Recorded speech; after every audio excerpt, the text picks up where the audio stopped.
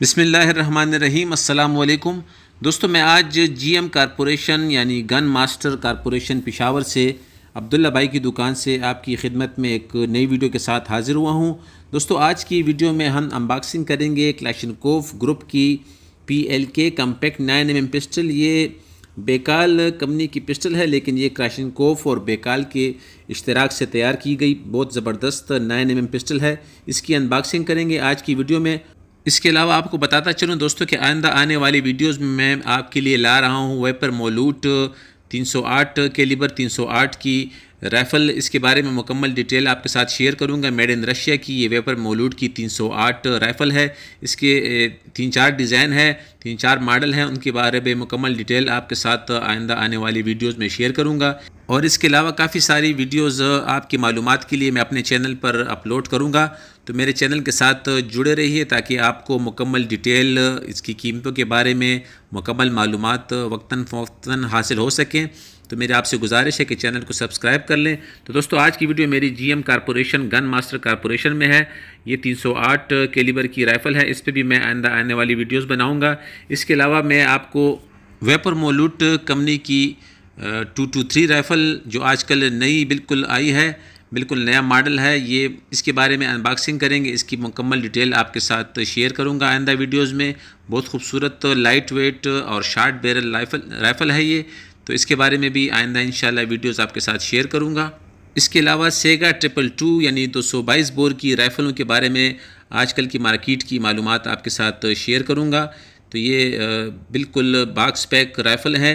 इनके बारे में, इनकी कीमतों के बारे में आपको मज़ीद मालूम में दूँगा आइंदा आने वाली वीडियोज़ में। और इसके अलावा एक अदद राइफ़ल जो है, ये कस्टमाइज़ राइफ़ल है, ट्रिपल टू सेगा की।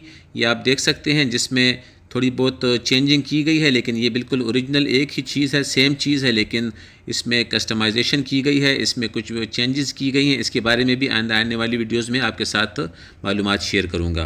तो दोस्तों, वीडियो काफ़ी लंबी हो गई है, ज़्यादा बोर नहीं करूँगा आपको। अब चलते हैं अपनी अनबॉक्सिंग की तरफ़।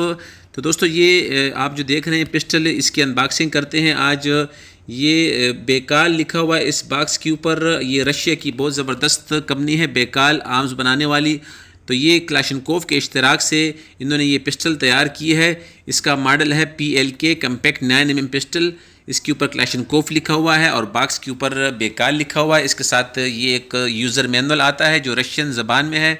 इसमें इस पिस्टल के मुतालिक मुकम्मल डिटेल है। ये नाइन बाई नाइनटीन एम यानी नाइन एम की पिस्टल है। ये बहुत ही खूबसूरत पिस्टल है। मार्केट में मैंने पहली मरतबा देखी है। बहुत पसंद आई है मुझे पहले ही लुक में। आप भी देख सकते हैं, ये ग्लाक से भी ज़्यादा खूबसूरत लुक दे रही है। इसका कलर आप देखें, कितना खूबसूरत कलर है। ग्रिप चेक कर सकते हैं इसका।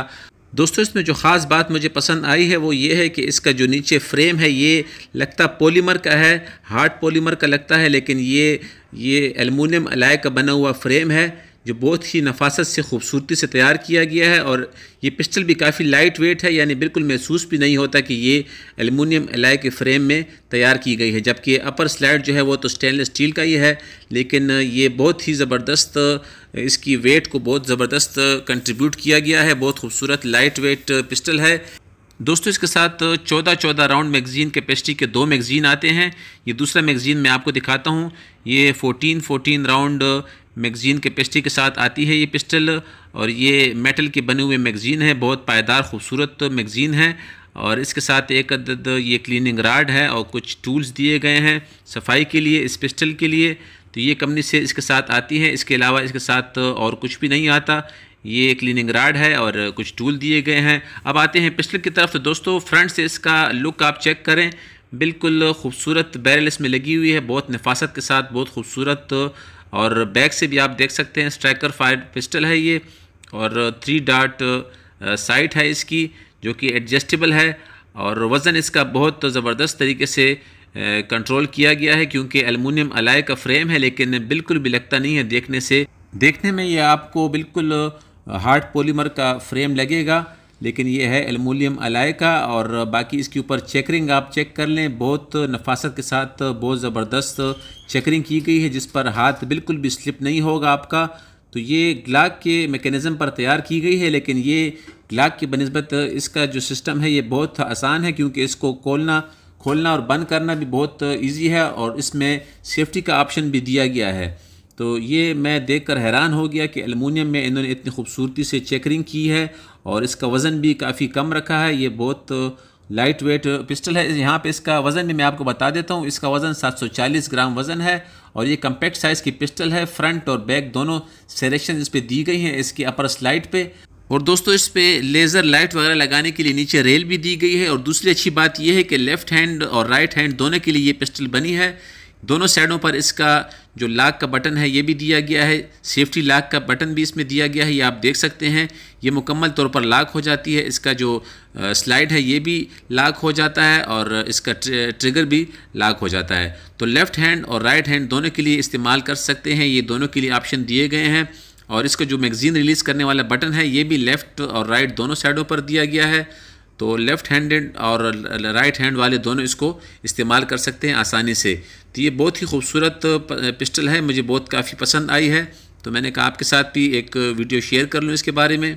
दोस्तों, यहाँ पे इसकी कीमत के बारे में आपको बता दूँ। आजकल मार्केट में इसकी कीमत चार लाख से चार लाख तीस हज़ार रुपये तक इसके दरमियान में चल रही है, क्योंकि ये इम्पोर्ट पिस्टल है, इसकी कीमतें ऊपर नीचे होती रहती हैं। बाकी इसमें ये देख सकते हैं लेफ़्ट और राइट दोनों साइडों पर मैगज़ीन रिलीज़ करने का बटन दिया हुआ है। और इसके अलावा जो लाक का बटन दिया गया है, वो भी लेफ़्ट और राइट दोनों साइडों पर दिया गया है। इसके अलावा इसको खोलना और बंद करना काफ़ी इजी है।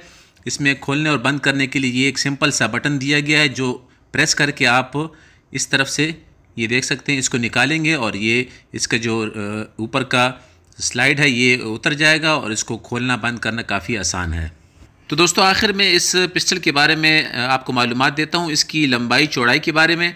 तो दोस्तों, इसकी मुकम्मल लंबाई एक सौ एम है और इसकी मोटाई जो है छत्तीस एम है और इसकी हाइट जो है ये एक सौ एम है और इसका वज़न जो है बग़ैर बुलेट्स के 740 ग्राम इसका वज़न है, जो काफ़ी लाइट वेट है।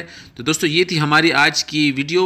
बेकाल कंपनी की 9 M M compact pistol PLK के बारे में। तो दोस्तों, उम्मीद करता हूँ कि आज की वीडियो आपको पसंद आई होगी। दोस्तों, अगर वीडियो पसंद आई हो तो वीडियो को लाइक कर लें। जिन दोस्तों ने अभी तक मेरा चैनल सब्सक्राइब नहीं किया, उनसे गुजारिश है कि चैनल को सब्सक्राइब कर लें, ताकि आइंदा भी ऐसी वीडियोज़ देखने का मौका मिल सके। अब आपसे इजाज़ चाहता हूँ, अपना ख्याल रखिएगा और अपने चैनल का भी। अल्लाह हाफिज़।